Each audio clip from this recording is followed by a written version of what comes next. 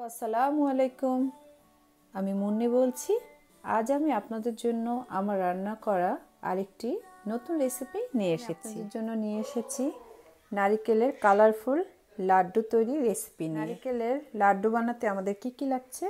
আসুন দেখে নিই। আমি নিয়েছি ওয়ান অ্যান্ড হাফ কাপ নারিকেল কোরানো নারিকেল। নিয়েছি ওয়ান অ্যান্ড হাফ কাপ চিনি।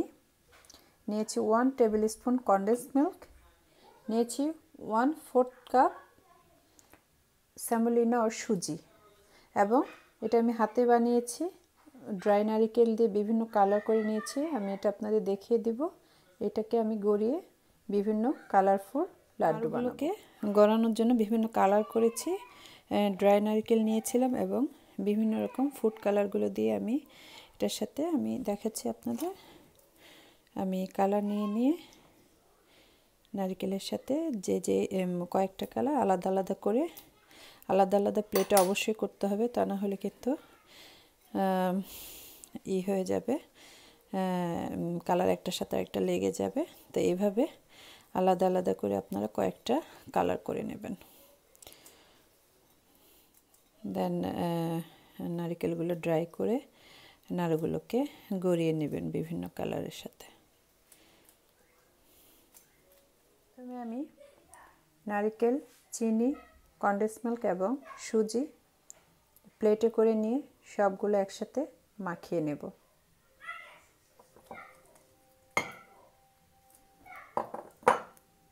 সবগুলো ইনগ্রিডিয়েন্টস আমি এখন মাখিয়ে নিচ্ছি।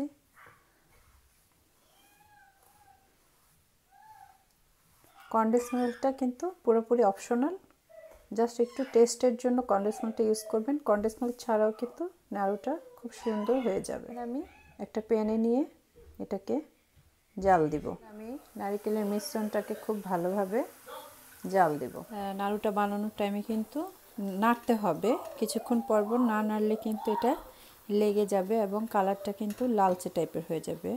সো সবসময় নাড়তে হবে। আর চিনিটা কিন্তু আপনারা যে যতটুকু মানে একটু কম মিষ্টি অনেকে পছন্দ করেন, তখন কিন্তু ওয়ান অ্যান্ড হাফ কাপের বদলে আপনারা ওয়ান কাপও দিয়ে নিতে পারেন নো প্রবলেম যখন দেখব আঠা আঠা হয়ে আসছে শুকিয়ে, তখন এটা নামিয়ে নেব। একটু তেল মাখিয়ে নিয়ে, দেন নাড়ুটা বানিয়ে ফেলব। হালকা একটু ঠান্ডা হলে কিন্তু আপনারা বানানো শুরু করে দেবেন। কিন্তু নাড়ুটা ভালো হবে।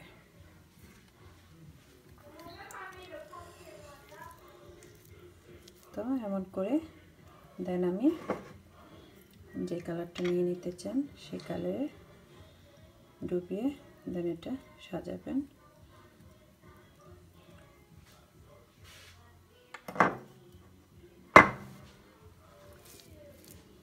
এমন করে করে আমি প্রত্যেকবার যে কালারগুলো বানাবেন বানানোর পরে আবার হাতটা ধুয়ে আপনার কিন্তু আরেকটা কালারে হাত দিতে হবে। তা না হলে কিন্তু একটার কালার আরেকটার মধ্যে। নাড়ুটা নিয়ে দেন ড্রাই নারিকেলগুলো নিয়ে এভাবে কিন্তু করে কালার এক একটা বানাতে হবে।